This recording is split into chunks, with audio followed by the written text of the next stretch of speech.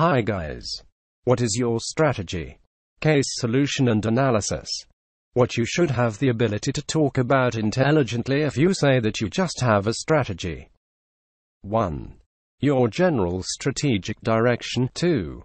Your tactical objectives. 3. Your competitive formula. 4. Your present competitive challenges. 5.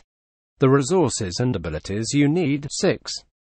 Your competitive advantages. 7. Your tactical priorities. And 8. How you convey your strategy in a straightforward, powerful manner in kind of the strategy elevator announcement. The learning objectives. What the crucial building blocks of a approach are. Thanks for watching this video.